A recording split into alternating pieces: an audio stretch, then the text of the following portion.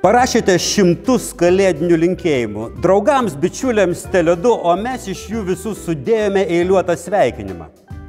Įdomu. Danutė linki, kad laimę aplankytų. Ir nuotaika gera lydėtų ištisus metus. Eligiai jums siunčia džiugesio ir santarvės. Arvidas sako, daugiau šipsokitės ir visos bėdos mažos bus. Povilas Kolega Lukas sveikina ir linki metų oi kokių gerų. O Redas sako, pasveikinsiu save, tad nenustok svajoti niekad tu. Janina nori, kad būtumėm laimingi, kad būtų šokių, juoko, daug gerų planų.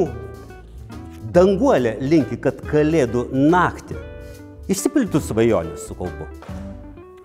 Rimantas parašė, reiks savim tikėti. Bronelė sveikina anūkę, sako, nėra kada liūdėti. Birutė žodžių gerų mums nepagailėjo.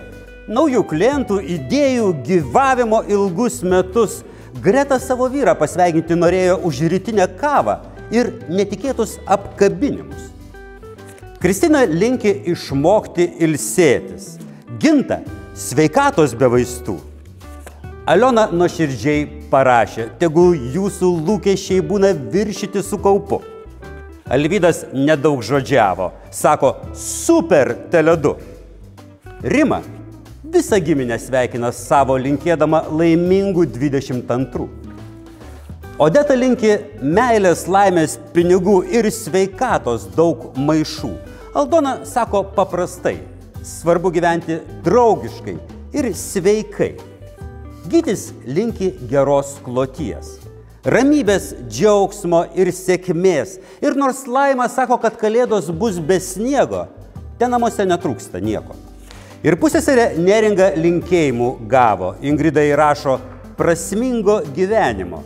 Pone Violeta sveikina visus - ir priešus, ir draugus. Agne rašo, kalėdos atidunda, laukia dovanos, visas pasaulis bunda. O Rima rėžė paprastai. Telydijus meilė ir pošventiniai džiaugsmai. Danutė linki visiems sveikatos. Algimante daug meilės, pinigų, o Ksenija, kad viskas būtų super ir oras geras ir mylimų draugų. Sveikinimų tiek, kad netelpa ant sienos. Ačiū, jog dalinatės džiaugsmu. Šiais metais Kalėdos numeris vienas. Linkėjimai nuo teledu.